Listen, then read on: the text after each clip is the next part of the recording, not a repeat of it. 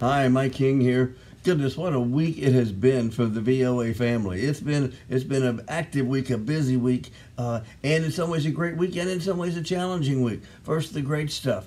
Goodness, we gave Jatrice Martel Gaiter a wonderful send off, a wonderful send off, but she is officially retired as of now. As of now, she is officially retired and on her next adventure.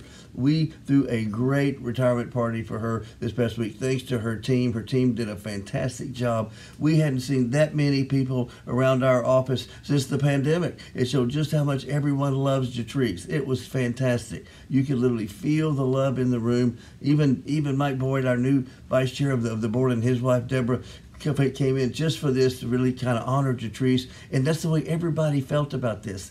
Everyone there at that event that night it was a wonderful reception. Really was there to honor her, and you could just feel that and sense that. And she was she was taken back. She was taken back. She she she, she was emotional. Absolutely loved it, uh, and we loved watching her love it. And at the same time, said, you know what? We're all staying in touch. We're all staying in touch. So so remember, you're still a part of the VOA family uh, forever and ever. And so we're gonna just watch her next adventure and enjoy it with her, uh, knowing that you know what? We're there with you all the way. So that's how we began the week, literally. Now, as far as wrapping up the week, We've had some damage from, from the hurricane, from Hurricane Helene in Asheville, North Carolina.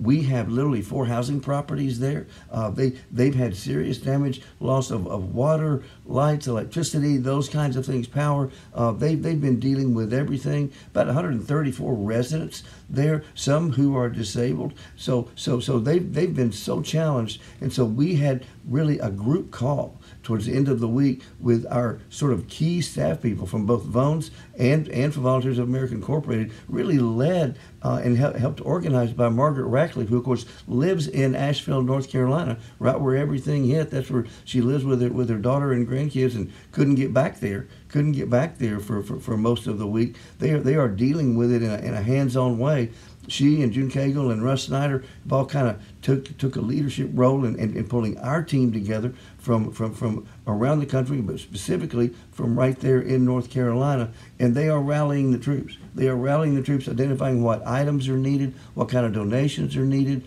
those kinds of things. If you want to know how to help, check the VOA website. They've done a great job putting together a really a project there where you can see the damage that's done, see the needs, and find a way to help. So that's that's what we need you to do. We're we're going to stay on this until we satisfy the needs of not only not only our residents of, of, of our properties, but also our staff. Our staff is right in the right in the middle of this. So we're going to be working on this for the next several weeks trying to generate as much support as we can to really show that we are, in fact, a love business and we're there when you need us. And this is something that, you know, the Volunteers of America family does better than anyone I've ever seen, that I've ever witnessed. So thanks to all of you for, for, for, for what you will do for, for your past responses.